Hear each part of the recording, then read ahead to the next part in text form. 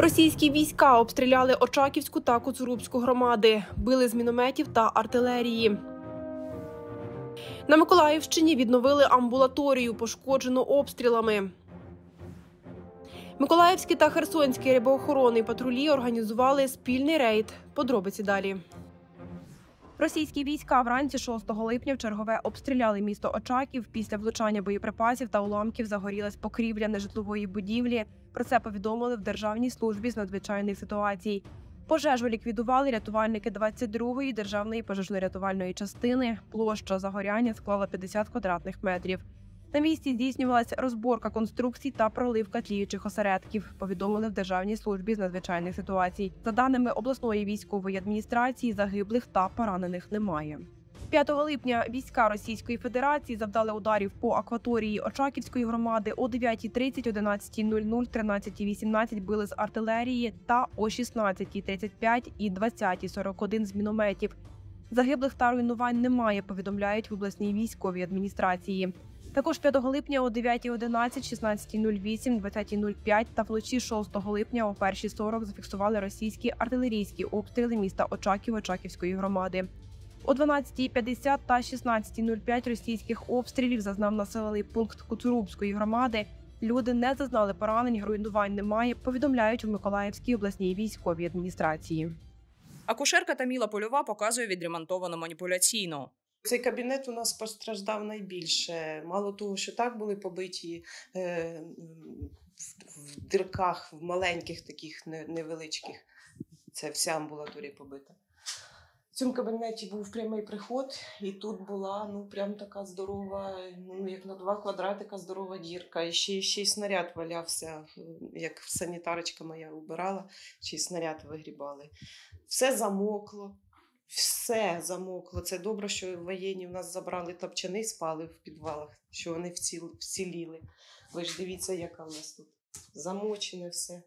Жителька широкого Юлія із родиною виїжджали із селища на час постійних обстрілів. Повернулась після звільнення Снігурівки. Говорить, коли знов відкрила амбулаторію, стало легше. У жінки двоє дітей. Говорить, періодично звертаються до медзакладу.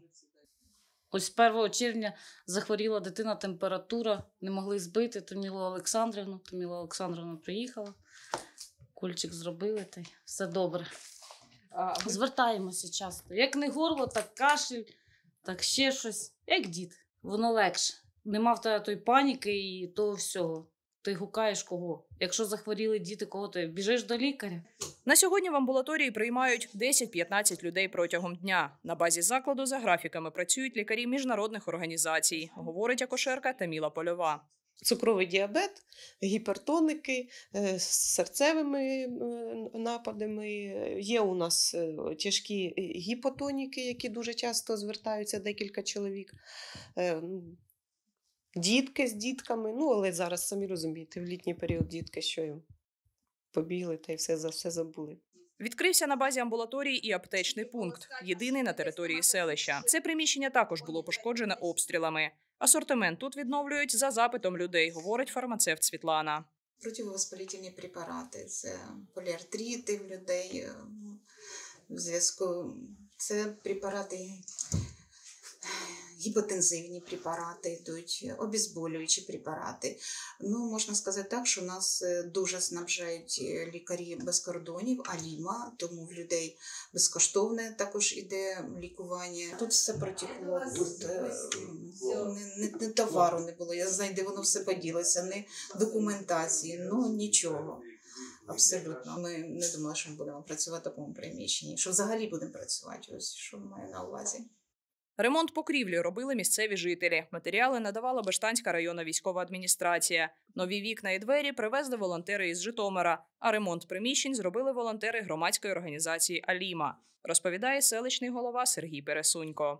Два місяці на повністю на відновлення.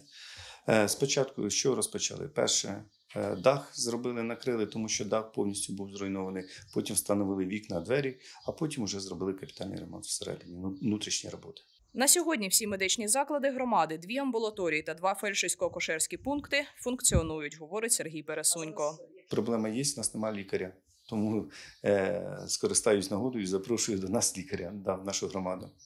Е, умови, ви бачите, зроблені на сьогодні, як на сьогоднішній день, добрі, хороші, тому не вистачає лікарів. Широківська амбулаторія до повномасштабного вторгнення обслуговувала близько 700 людей. Нині 400 ті, які вже повернулись до селища, розповів селищний голова. Валентина Гурова, Юлія Філімон, Суспільне новини, Миколаївщина.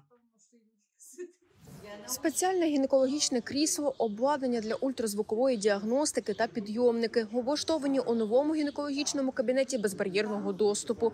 Розповідає Дмитро Бачинський, заступник головного лікаря з хірургічної допомоги. гінекологічний кабінет. Е, Значить, облаштований е, гінекологічним кріслом з підсвічуванням, яке автоматично опускається низько, піднімається для доступної візуалізації для діагностики пацієнтки. Також е, при взаємодії з благодійними фондами е, є спеціальне обладнання для людей з обмеженими можливостями фізичними, е, яке можна підіймати з крісла з візка до власне на дане крісло. І цим самим можна проводити огляд. Це обладнання дозволить жінкам з обмеженими можливостями комфортніше отримувати гінекологічну допомогу, говорить Петро Ример, головний лікар Миколаївської обласної клінічної лікарні. де є дві таких великих направленості. Перше це е, інклюзивність. Ми можемо допомагати е, жінкам, які не можуть в силу своїх там, фізичних вад або захворювань е, здійснити якісь маніпуляції в кабінеті. Це одна сторона. А друга дуже важлива сторона це допомога психологічна, психологічна допомога в результаті якихось е, сексуальних насильств або е, інших таких складних життєвих ситуацій для жінок, для е, молодих е, якраз дівчат, можливо, для того, щоб допомогти їх вийти з скрутної ситуації. Медична допомога у цьому кабінеті надаватиметься жінкам цілодобово та безкоштовно, розповідає Олена Костянтинова, координаторка програми. Український жіночий фонд підтримав інформаційну кампанію по висвітленню того відкриття цих кабінетів, щоб жінки дбали про своє здоров'я, щоб вони знали, що їх можуть тут прийняти, можуть отримати цілодобовий доступ, можуть отримати е, доступ до е, гінекологічних послуг. І безкоштовно, так як щоб не думали, що це тільки люди з інвалідністю, що це покриває багато категорій жінок. Це підлітки і дівчата, е, які постраждали від насильства. Це жінки, які постраждали від домашнього насильства. Це жінки з інвалідністю, які мають бути мати безбар'єрний доступ до крісла. Подібні гінекологічні кабінети безбар'єрного доступу відкрили також у Вознесенську та у Первомайську, розповіла Олена Костянтинова. Єлизавета Кротик, Суспільне новини, Миколаїв.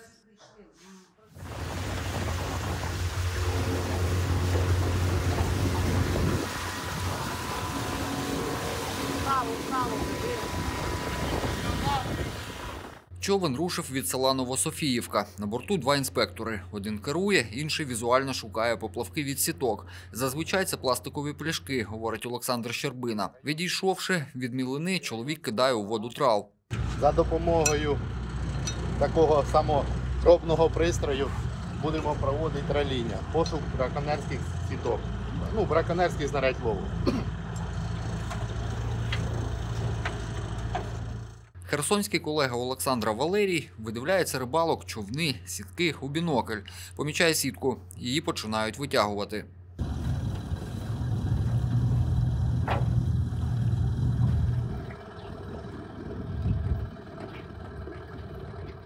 по річці Інгульцю в районі села Галаганівка були виявлені, було виявлено заборонене знаряддя лова, саме месинова сітка, яку вилучили ми з водойми. По закінченню рейду були складені відповідні матеріали. Це сітка приблизно метрів 70-80, е, вічко тут крупне. Це на крупну рибу. Короб, товстолоб, сом. Інспектори рушають далі. Навколишні села були в окупації. До того, як звільнили Снігурівську громаду, Херсон водойму не інспектували. Географічно на одному відрізку річки чергуються ділянки, що відносяться і до Миколаївської, і до Херсонської областей. Тому спільно тут працювати продуктивніше, говорить головний державний інспектор з Миколаївської області Олександр Сілецький.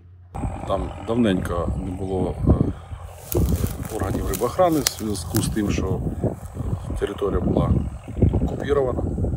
багато мін і е, вибухових знарядів. Ну, зараз вже ситуація трошки вирівнюється. Тому будемо проводити такі рибоохоронні рейди частіше.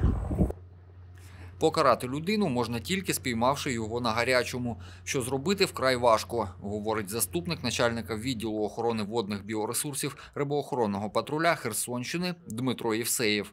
Якщо е, вдається затримати порушника, от, е, згідно статті 85 частини 4 чи грубе порушення правил рибальства, е, він буде притягнутий до адміністративної відповідальності. Якщо в його діях будуть виявлені ознаки кримінального злочину, буде е, порушено кримінальне провадження і матеріали передані в правоохоронні органи. Окрім понад 100 метрів сіток, інспектори дістали з-під берега вершу. Тепер всі вилучені заборонені знаряддя лову опломбують, складуть акти вилучення безгосподарського майна та здадуть на зберігання на склад. До прийняття комісійного рішення щодо їх подальшої долі розповів Дмитро Євсєєв. Олександр Гордієнко, Суспільне новини, Миколаївщина, Херсонщина.